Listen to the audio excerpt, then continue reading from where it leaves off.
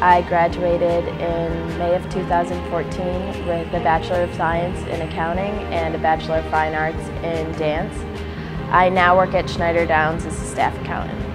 I'm in the external audit department, so I'm going to clients performing audits, reviews, and compilations. And I am constantly learning new things, and I get to meet new people and interact with different clients on a daily basis.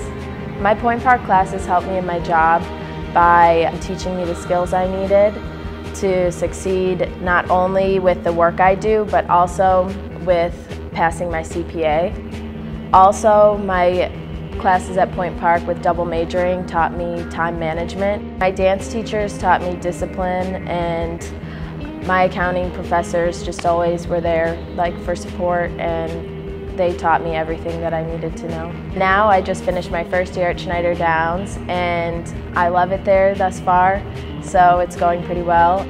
Point Park was a great experience. It definitely taught me a lot about myself and helped me grow as a person.